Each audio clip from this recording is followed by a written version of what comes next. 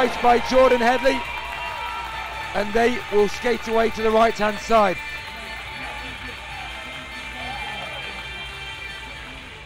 Not quite as big a crowd in here tonight as there was last night. Still plenty of support for the British team. Plenty of Union Jacks flying. Various teams represented and people travelling up to watch. Our friends and families and teammates in this tournament. Forbes under pressure, can't move it along the boards. Britain with some early pressure, but the puck just steps out of the zone. And taking it back in is Duggan. Two goals last night. And a constant threat. Opportunity out front and a goal for Forbes. The lines are rejigged and the goal comes from Forbes. And Britain have an early lead. Great play by Alex Forbes. He charged down and played that. So Martin's made that early lineup change. And prior to the game, has paid off dividends right away with some early support to the play. But again, just taking the puck to the net, working their play, and Alex, Alex, Alex Forbes there. Nobody picked him up as he moved into the center of the ice.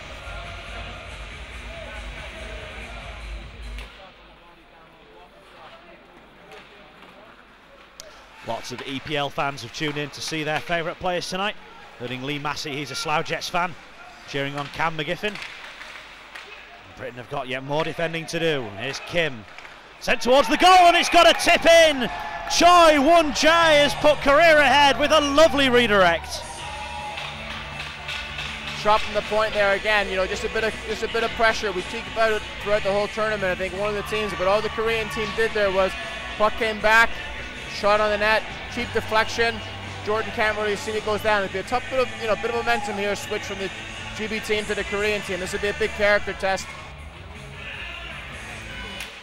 Britain saw a first period and a third period lead disappear against the Netherlands. It's all gone wrong for them within the space of four second period minutes here against Korea.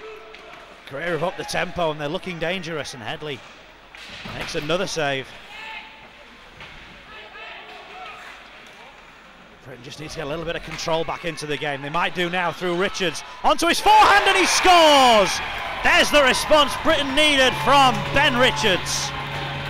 Just a really good response from Ben Richards. We've seen that play last night with Alex Forbes. Again, you know, it's a, that's the best possible response that you can have from any game. And Britain's goal was scored by Richards, assisted Bonner. So Lee Bonner a goal last night, an assist tonight. And all the Hull Stingrays fans watching in will be pleased to see Lee doing well. And we are tied at 2-2 and we have a penalty coming in. We have a roughing call. And a Korean power play is coming up.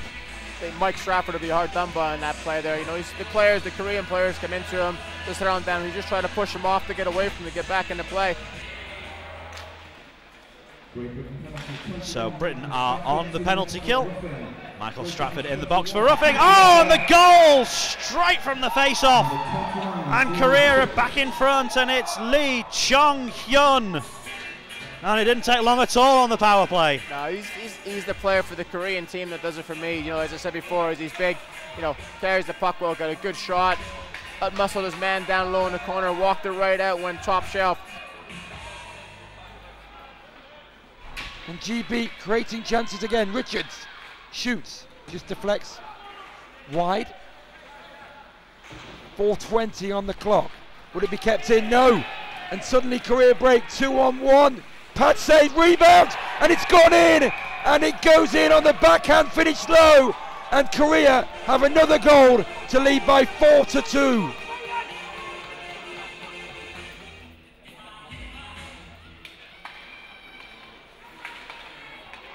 In. It's taken a deflection. And Duggan is going to be the man that's going to score that.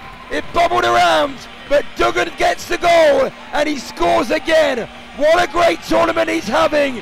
And GB get that goal back and only trail by one. Korea 4, GB 3. So just over six minutes gone in this third period. Cross-checking minor. Britain the man advantage. Korea have a power play goal in this game. Britain's three goals have all been even strength.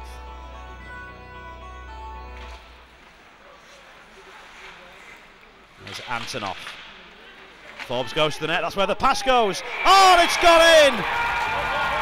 In off the body, and Forbes has got another one. As we said before, as you know, it said number 10 goes off the ice there between the second and third, was giving it to the GB players, and again, they'll take a lot of pride on that play.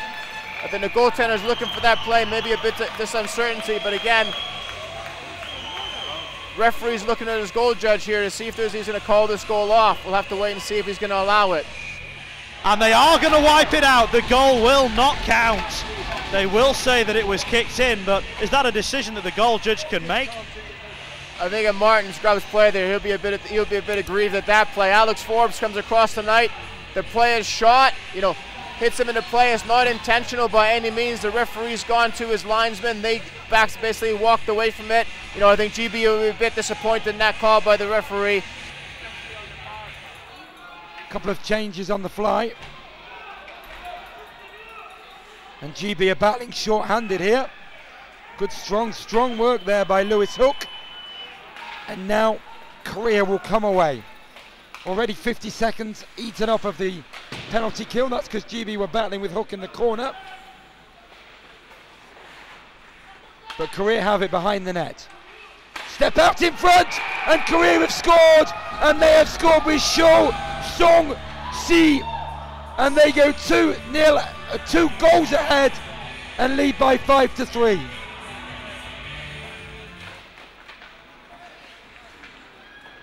GB are going to have to gamble here.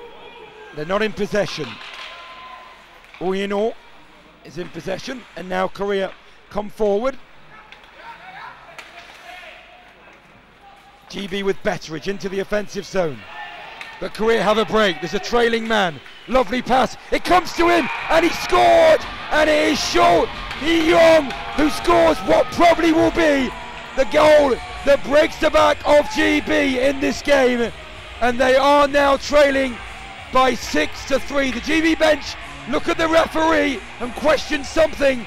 And the Koreans are so, so thrilled. And they mob each other and they lead by a three goal spread. It's 6 3 Korea, and I'm afraid it could be game over. Here we go, man on the doorstep. There's two of them. Betteridge one, Antonov is the other, and Antonov scores. 2.14 to go. It's a two goal game. It's 6 4. We've got to think game on here, Chris. As I said before, is not a lot of time left on the clock, but it's you know it's it's one of those situations here where GB just they said you just got to get back in the game. There's still two minutes to play. Lots can happen, as I said earlier. 45.3 seconds. The coaching staff tell Ollie to jump in.